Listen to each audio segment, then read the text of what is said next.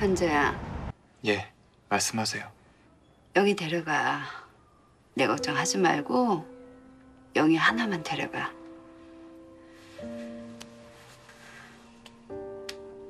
네가 영희 옆에 있어주면 내가 편하게 눈 감을 수 있을 것 같다.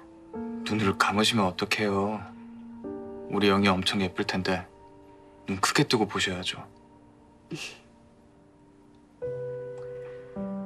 저희 미국식으로 할 거라 어머님들도 드레스 입으셔야 하는데 무슨 색으로 해드릴까요?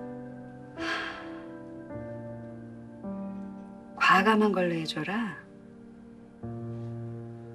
등에 푹 파인 걸로. 네, 알겠습니다.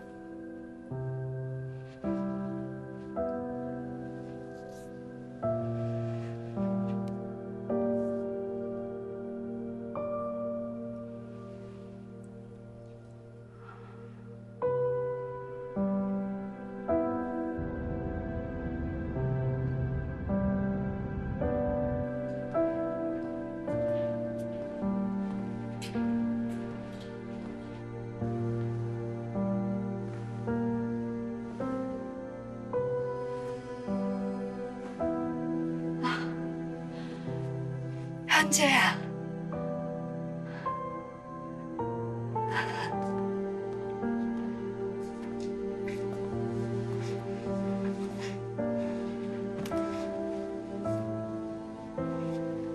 죄